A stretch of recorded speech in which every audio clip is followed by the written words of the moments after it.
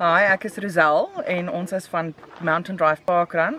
Ons is baie opgewonde. Dit is vandag ons verjaarsdagviering. Ehm um, dit het baie werk gekos om hier te kom om na ons eerste jaar te voltooi. Ons eerste jaar van beplanning voor die die die weeklikse hardloop gebeur het, het 'n jaar gevat vir die administratiewe goeders. So ons is nou op ons eerste jaar van mense wat elke week kom en ons sien uit na nog baie jare heen Grafnet. First of all, happy birthday, Mountain Drive. We're very excited that we've made it to one year and uh, the numbers have definitely not declined, so we're very excited about that.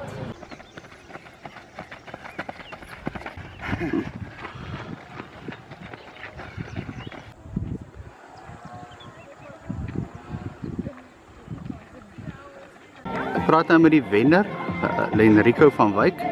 Lenrico, hoeveelste keer is dit wat jy nou gehardloop het? Uh, dat is een algemeen die keer wat ik paar gaan van doen het.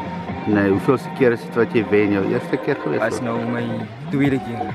wat jy wat jy gewen het. Ja, Hoe was dit geweest? het was nice. gewoon.